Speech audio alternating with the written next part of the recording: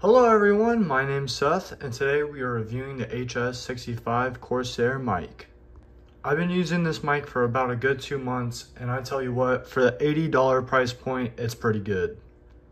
Now the mic does come with an adapter. If you do have a PC, you can change around the settings and it has a guide for that. One thing I really like about this mic is that these pieces are pure aluminum, which makes this mic very durable. The top of the headpiece is also aluminum, so it's very durable. Now comfort, the memory foam on the ear cups and the top piece feel really nice. It feels like a marshmallow on my head. And if you have a skinny head like me, promise me this mic will not slip off your head. Now audio for this thing, with the 55 millimeter audio drives, this thing sounds crisp.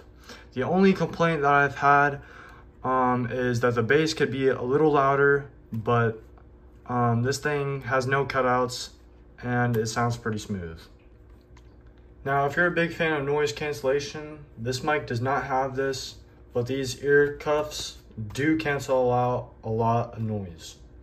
Now, let's talk about the actual mic quality.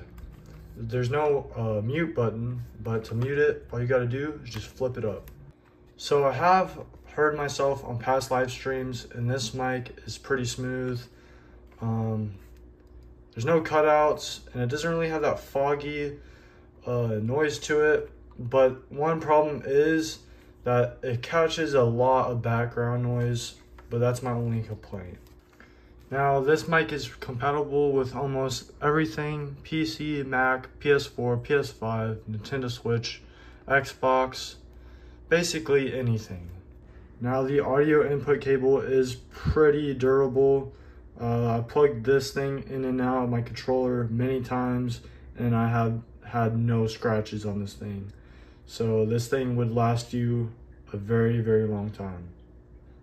I simply give this mic probably 8.5 out of 10. Um, durability, amazing. It looks amazing. Sounds amazing just a good overall mic. Anyways, that was it for this video. Uh, thank y'all for watching, and uh, I'll see y'all on the next one.